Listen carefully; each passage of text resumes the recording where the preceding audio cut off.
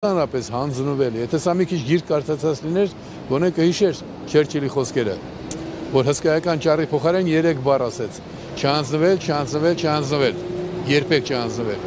Ես այդ այդ այդ բնույթի ճանապարհով երկար եմ անցել տասնյակ տարիներ ինձնից գոնե ամիսը մեկ խնդրում էին կամ կոչ էին անում կամ սպառնում էին որ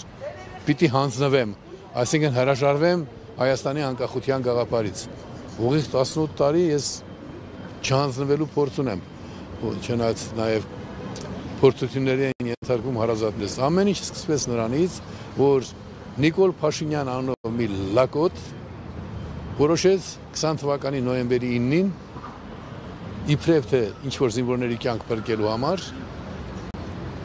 նոյեմբերի 9-ի հայտարարություն ընդունել, որը միջազգային պայմանագրային օրինակարգի տեսակետից պայմանագիր էլ չէ։ Հայտարարությունը, որը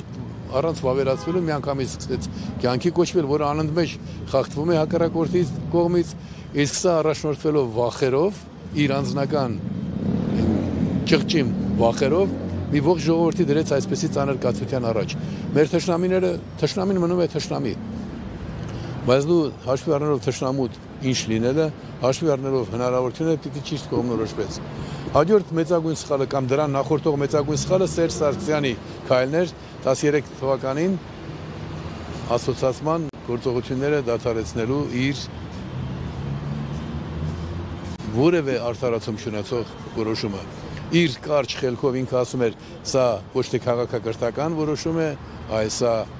անվտանգային որոշում է, այդպես ինքը ազդարարեց Թբիլիսիում հետո տեղի ունեցած ասուլիսի ժամանակ, բայց ինչպես տեսնում եք, իր այդ գործողությունը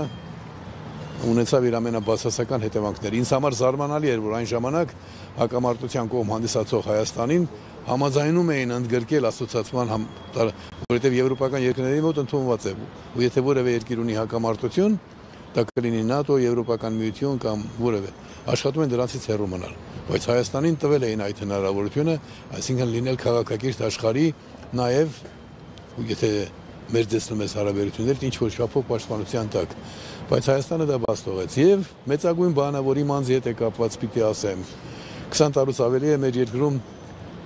աշխարհի համար շատ կարևոր բացարձակ ժողովրդավարության գաղափարը թեվածում է բայց մնում է այդպես է թեվածող երևույթ առանց մտնելու մեր իրավական դաշտ Եթե Հայաստանը, մանավանդ Արցախի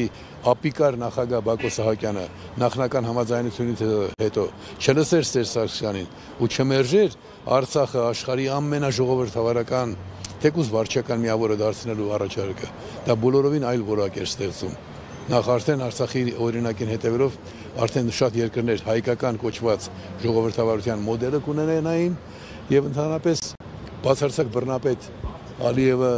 դժվար թե համարցակվեր բացարձակ ժողովրդավարության նկատմամբ ոտնձգություն կիրառել, որովհետև դա արդեն այլ բնույթի մարտահրավեր էր ստացվում։ Մենք է որ պիտի աշխարհին հիշեցնեինք, թե ով է եղել այս Ալիևի հայրը, Չեկիստ Ալիևը,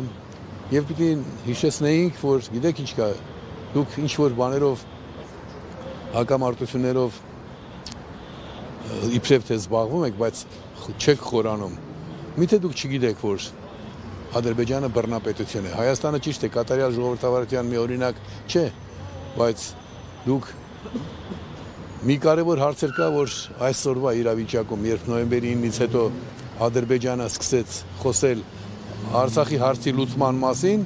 այդտեղ էլ մեր դիվանագիտությունը չաշխատեց հարկեղած կերպ, որովհետև ինչպես կարող է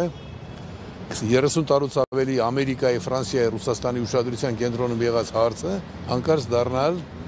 ինչ որ մի բռնապետի կմահաճույքով լուծված հարց։ Լավ, երկու բռնապետների, Պուտինի եւ Ալիևի այդտեղ դիվանագիտությունը պիտի աշխատեր, այսինքն դուք ամերիկացիներ, որ դա համարում եք հարց, որի համար տևական ժամանակ, բանակցություններ, ի վերջո միջոցներ եք հատկացնում, այդ հարցը ուրեմն այդպես հեշտ լուծվող հարց էր, հա, բավական է մի նոր Հիտլերիկ, եւ դուք հարցը կարող եք համարել լուծված նրա տեսակետով։ Մի բան էլ կա, որի մասին պիտի ասեմ այս առիթով մի անգամից ամփոփելու համար, մարդկության պատմության հայտնի չի որևէ դեպք, որ 30 տարուց ավելի անկախացած վարչական միավորը կամ համայնքը հետո կամավոր կամ ինչ որ ձևով վերադառնա այն միջավայրը, որում ինքը եղել է, որի դեմ ընդվզել է եւ եղել է դրանով աշխարհի ուշադրության կենտրոնում։ Այսինքն այն ինչ որ այսօր փորձարվում կատարել Արցախում, դա ընդհանրապես աննախադեպ երևույթ է։